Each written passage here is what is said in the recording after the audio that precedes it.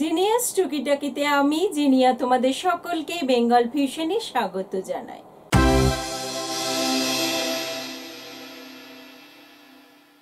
ছোট্ট সমস্যার ছোট্ট সমাধান।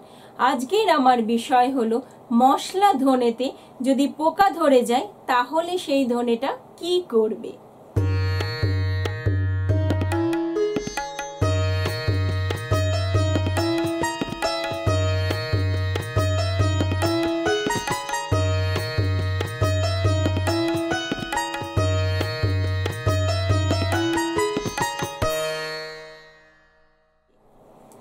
অনেক সময় রান্নার কাজে ব্যবহার করা এই ধনে আমরা পরিমাণে অনেকটা বেশি কিনে আনি এবং ফেলে রাখার জন্যই কিন্তু ওই ধনেতে পোকা ধরে যায়, সেটা কিন্তু আর ব্যবহার করা যায় না। অনেক সময় তো আমরা এটাকে ফেলে দিই। আমি তোমাদের বন্ধু বলব, এটাকে ফেলবে না। এটা দিয়ে কি করবে সেটাই জানাচ্ছি।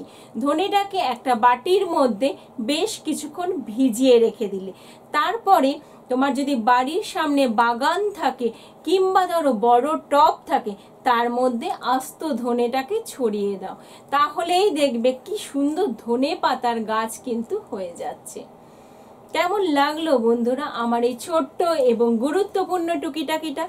যদি ভালো লেগে থাকে তাহলে অবশ্যই আমাকে লাইক করো, তোমাদের মতামত জানিয়ে বন্ধুদের মধ্যে শেয়ার করো। সাবস্ক্রাইব করতে একদম ভুল করো না। অপেক্ষা করো পরের আরেকটা গুরুত্বপূর্ণ টুকিটাকির জন্য। নমস্কার।